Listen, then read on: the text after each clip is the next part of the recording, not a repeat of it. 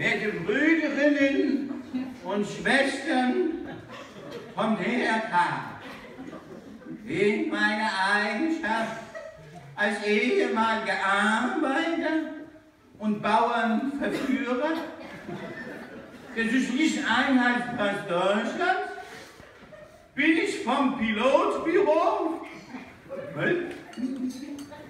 vom Pilotbüro abgestimmt worden als zuverlässiger Auslandskader vom sozialistischen Himmel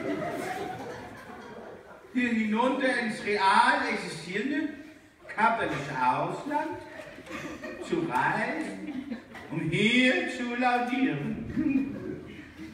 Ich habe Genossen Petrus mein Pionier-Ehrenwort geben müssen, dass ich wieder zurückkomme.